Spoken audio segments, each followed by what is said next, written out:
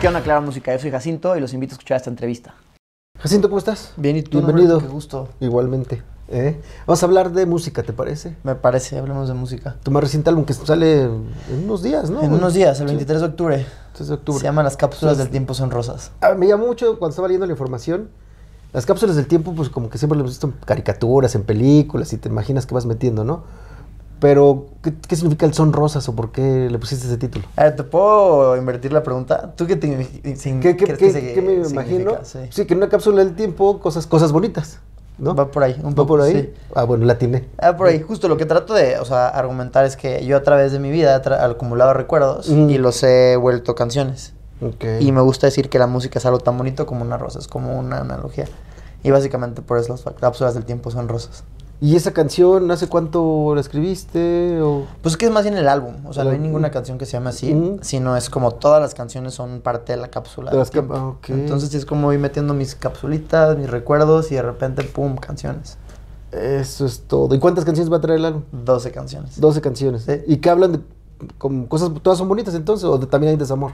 Pues hay de todo, la neta, o sea, como tardé dos años en escribirlo, entonces esos años fueron Dos. como varias etapas, sí. Fue un proceso muy chido, o sea, porque empecé escribiendo el primer año, tenía 200 canciones para escoger y después de esas 200 que habían quedado como dos. Y la otra segunda mitad del año fue cuando escribí más. Y curiosamente, el- cuando ya había empezado a sacar canciones del álbum, escribí otras cuatro que me gustaron más. Quitamos unas y metimos otra. Hicimos un- una locura para poder escoger canciones. Pero sí, pues han pasado muchas cosas en este año, ¿no? Tanto desamor como introspección, como crecimiento, ¿sabes? Como que han pasado varias cosas. Entonces, pues tiene todo. Pero 200 canciones, bueno, te la pasas escribiendo todo el Escribo tiempo. mucho, me encanta escribir. Es lo que te iba a decir, ¿no? Porque fascina. 200... Sí, sí, sí. O sea, todo el tiempo estás componiendo entonces. Es como terapia, creo, ¿no? O sea, es como una manera en la cual creo que muchos músicos coinciden con eso, sobre todo cantautores, que es como la terapia de la música es buenísima. Aparte de escribir y, y cantarlo, es todavía más catártico. No, más todavía. Sí, sí, sí. ¿Y en qué etapa de tu vida estabas justo entonces en ese tiempo? Pues mira, pasé de un, o sea, empezó como, diría que con un desamor, ¿no? O sea, Mm. que mi EP fue un desamor, así empecé, después como fue un desmadre, una etapa así como mucho desmadre, y después como un poquito más de encontrarme, estabilizarme, Ok. eh, hasta tener otra relación súper cool y, y ya como con otro, otro enfoque en mi vida, ¿no? Ya no tanto desmadre. O sea que hay canciones para la ex y para la actual. Pues, pues sí. Pues sí. Oye, ¿y saben que les escribiste las canciones? Sí, sí lo saben. Por supuesto. Yo les digo así directamente, oye, ¿te gusta? Se las cantas. Por supuesto. Hasta, la, hasta las de las ex. Claro. Oh, ¿y no quieren regresar cuando se las compones? Nah, No, más bien, o tú ya no quieres regresar. nah, somos ya, tengo buena relación con mi ex, la neta. Ah, Nos llevamos muy, muy bien. Sí. Oye, vamos a regresar un poquito más hacia la cápsula de tu tiempo. ¿Por qué te gusta escribir o por qué te dedicaste a la música? o ¿Cómo fue? Yo creo que fue un proceso muy natural, como que inconscientemente ya lo traía en mi ADN, yo creo, porque sí, o sea, no es como que dices, voy a tomar clases, como nunca tuve clases de música, como que solamente algo que tenía y como que, eso sí, tenía muchos instrumentos en casa de mis abuelos y Mm. poquito a poquito fui como probando y curioseando y dije, wow, esto es para mí. Y sí, mi primera canción la hice como a los 14 años y fue como muy natural, o sea, como que, sí, innato, como que es algo que ab- necesitaba ¿Tus abuelos por qué tenían tantos instrumentos?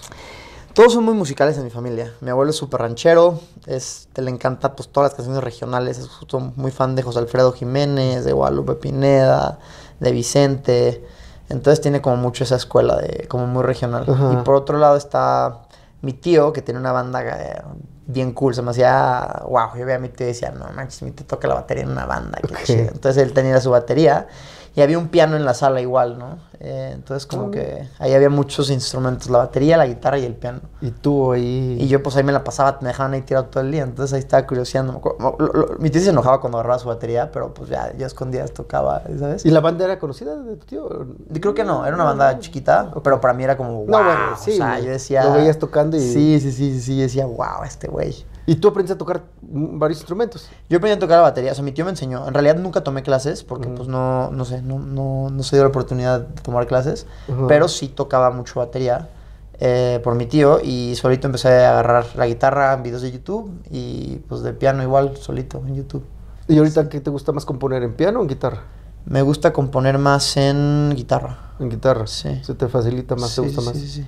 Pero y después, entonces nunca tomaste clases como tal, o Nunca no? tomé ni una sola clase. Es empírico totalmente. Sí, Pues bueno, dice, ahorita que mencionas a José Alfredo, José Alfredo no sabía Tocar guitarra. ni, ni escribir, o sea que todo no, era, y en ese tiempo no había con dónde grabar el sonido, Es no una locura. Sí, o sea que silbaba y después se acordaba Sí, del sí, sí, silbidito y llegaba. ¿Sí te sabías esa historia de Sí, José sí, Alfredo? sí, que estaba en sus borracheras y nomás dictaba las canciones y ya nomás. escribía. Ajá, o la silbaba y te trataba de corrérselas cuando, cuando llegaba con el músico, ¿no? Sí, sí, sí. Wow, qué locura. Oye, sigamos hablando de las cápsulas del tiempo son rosas. Háblame de tu canción favorita del álbum. ¿Cuál sería? Yo creo que una que se llama Entonces Fui.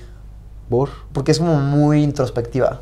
Es una canción que me quiebra, siempre que la canto me quiebra. Pues como que es muy, no sé, habla mucho de mí. Y la parte tardé mucho en escribirlo, tardé como cuatro meses. Y fue como... Ah, ¿tanto? Sí, porque fue una canción que hice como por partes.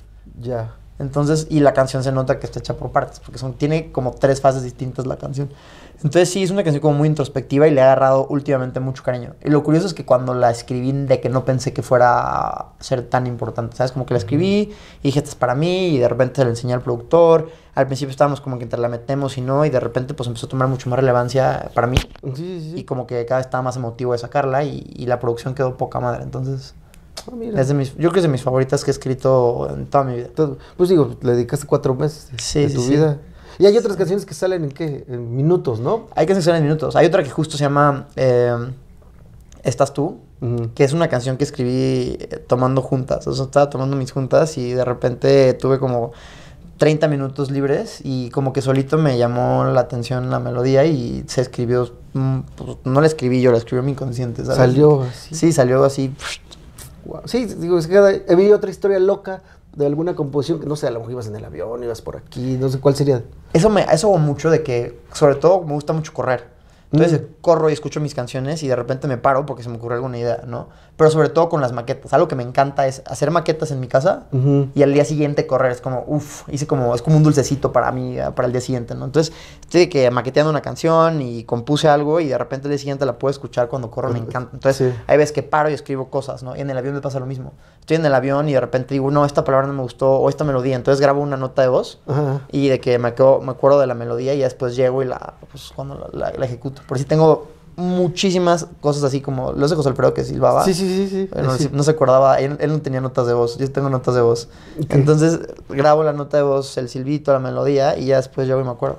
Wow. Sí. Y te digo, eso es muy. Lo de correr, digo, a mí también me gusta correr. Y justo cuando vas con. Es más, ni luego ni pongo nada. Nada más me pongo los audífonos y como que vas escuchando tu respiración y vas pensando Sí. cosas que después.